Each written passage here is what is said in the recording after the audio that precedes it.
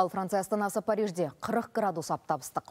Бұдан басқа елдің 44 департаментінде күннің шыжуына байланысты сарғылт түсті ескерту жарияланған. Қала тұрғындары мен қонақтары ыстықтан қорғану үшін Сена өзенінің жағасында жүр.